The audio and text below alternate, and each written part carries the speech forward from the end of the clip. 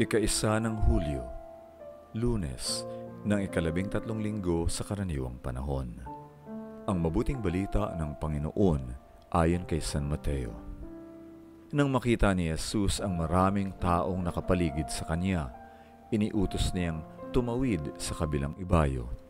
May lumapit sa kanya na isang guro ng batas na nagsabi, Panginoon, susunod ako sa iyo saan ka man pumunta.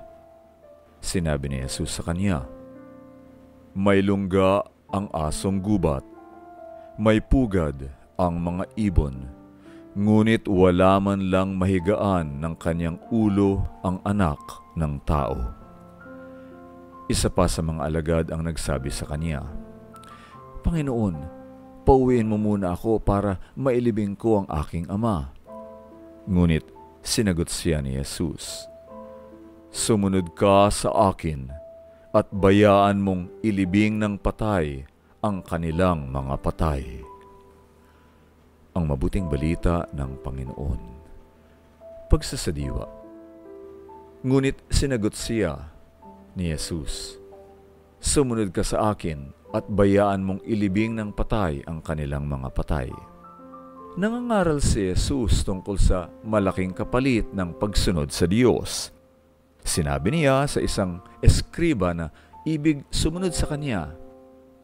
Saan man siya pumunta, na ang misyon niya ay katumbas ng pagpapakasakit at paghihirap.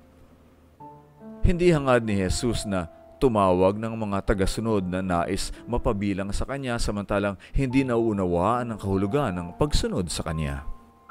Isa pang alagad ang nais sumunod kay Jesus, ngunit humingi muna ng palugit. Panginoon, maaari po bang umuwi muna ako upang ipalibing ko ang aking ama? Hindi nangangahulugan na may nagaganap na lamay sa kanilang tahanan.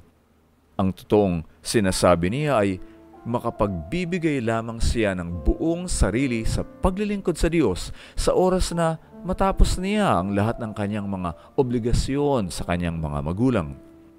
Hindi malupit si Jesus sa tono ng kanyang tugon na ang tanging layon lamang ay bigyang diin ang kahalagahan ng misyon higit sa ano pamang obligasyon at kung paanong humihingi ito ng buong pagtugon at pagtataya ng sarili. Pagsasagawa, kailan mo naunawa ang tinatawag ka ni Jesus sa isang lugar o gawin ang isang bagay? ano ang mga kinailangan mong gawing sakripisyo